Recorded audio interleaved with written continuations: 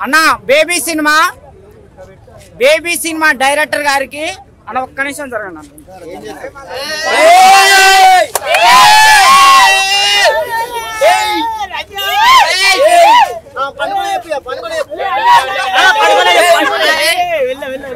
Baby cinema director గారు నిజాన్ని నిజాయితీగా నిస్వార్థంగా నిర్భయంగా బ్రహ్మాండంగా బయలుపరిచారు బహిర్గతం చేశారు.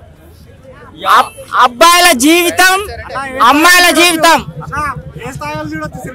అబ్బాయిల కోసమే అమ్మాయిలు అమ్మాయిల కోసమే అబ్బాయిలు. ఇప్పుడు నేను నిజం చెప్పాలా అబద్ధం చెప్పాలా? నిజం వల్లనే అబద్ధం ఉంది. అబద్ధం వల్లనే నిజం ఉంది. రెండు ఉన్నాయి. ఒకటి ఏంటంటే సెక్స్ కోసమే సెక్స్ కోసమే డబ్బు. డబ్బు కోసమే సెక్స్ లాగా మారిన అన్న డబ్బు కోసమే సెక్స్ సెక్స్ కోసమే డబ్బు. అబ్బాయి ఏం చేస్తాడు? సెక్స్ కోసం తిరుగుతూ ఉంటాడు. అమ్మాయి ఏం చేస్తది? డబ్బు కోసం తిరుగుతూ ఉంటది. అందు గురించి. ఎవరైనా గానీ కాదు. ఎవరైనా గానీ అబ్బాయిలు టు అమ్మాయిలు ఇద్దరు మీ లైఫ్ సంకనాకి పోకుండా ఉండాలి అంటే బేబీ సినిమా చూడాలి. ఎందుకంటే అబ్బాయిల సంకనాకి పోతున్నారు ఒక సైడ్ అమ్మాయిలు ఇంకో సైడ్ సంకనాకి పోతున్నారు. అందు గురించి బేబీ సినిమా చూడండి. బేబీ సినిమా చూడండి. మీ లైఫ్ని మీరు కాపాడుకోండి.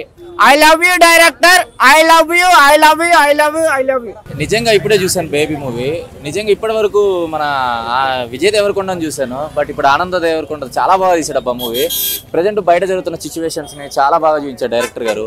ఇంకొక విషయం ఏంటంటే ప్రజెంట్ అమ్మాయిలు మోసం చేస్తున్నారు అది ఇది అని చెప్పేసి బయట జరుగుతున్న విషయాన్ని క్లియర్ క్లియర్ కట్గా చూపించాడు. బట్ ఈ సినిమాలో నాకు తెలిసి అమ్మాయి అబ్బాయిని మోసం చేసిందని చాలా మంది అంటున్నారు నేను చూశాను బట్ అదైతే నాకు అనిపించలేదు. ఎందుకు అంటే తన ప్రాబ్లం ఒక సిచ్యువేషన్ క్రియేట్ చేసుకుని ఎందుకంటే ఒక పేద నుంచి ధనవంతురాలుగా తయారవ్వాలనే థాట్ వాళ్ళ మదర్ చేయించిన తప్పు ఫస్ట్ చేసింది వాళ్ళ మదర్ తప్పు.